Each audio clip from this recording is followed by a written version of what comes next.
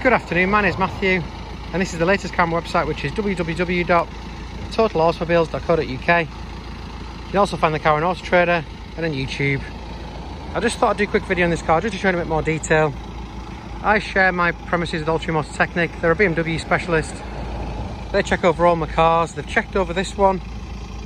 They do an inspection, they do a diagnostic, they do a road test. Everything's absolutely fine, it needed an aircon regas which has been done. Here we've got an absolutely immaculate 320 diesel. It's a Sport Plus edition. I love the Sport Plus edition. Basically, it's an M Sport with lots of other nice extras. This one's got the, the 18 inch alloy wheels. It's also got the full leather seats. This car's also got some other upgrades as well, which other Sport Pluses don't have. It's got the professional navigation, which is a just under £2,000 extra. I'll run through some other options when I get inside the car and show you some of the extras on the car. It really is in stunning condition. If you was to be really picky, there are a couple of stone chips on the bonnet.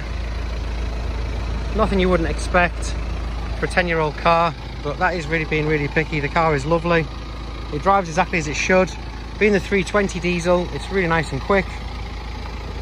It's really economical as well. Cheap to tax, I think it's 135 to tax for a year. Don't quote me on that one. I think it's 135 to tax for a year.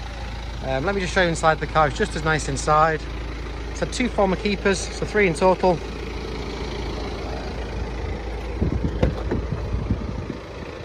So it's just as nice inside. No real wear on the seats. Steering wheel. Key stick gaiter or handbrake gaiter. It's got climate control. As I say, it's been regas, so it's lovely and cold. The exact mileage is 70,331. It's got the multifunction steering wheel. It's got cruise control as well.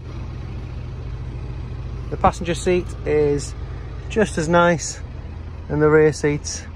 The lock have been sat in. The car tells you if there's anything due in the car or if there are any faults. Just run through that with you. So check control, no faults on the vehicle as you'd expect.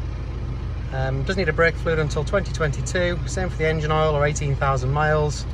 Rear brakes are on 37,000, the front brakes are on 80. It's got BMW service history up until August 2015. And then it must be an independent garage after that because I don't have that information unfortunately. But yeah, really lovely car and really lovely example. I hope that helps. If you've got any questions, please give me a call on the number below or simply drop me an email. But thank you very much for watching.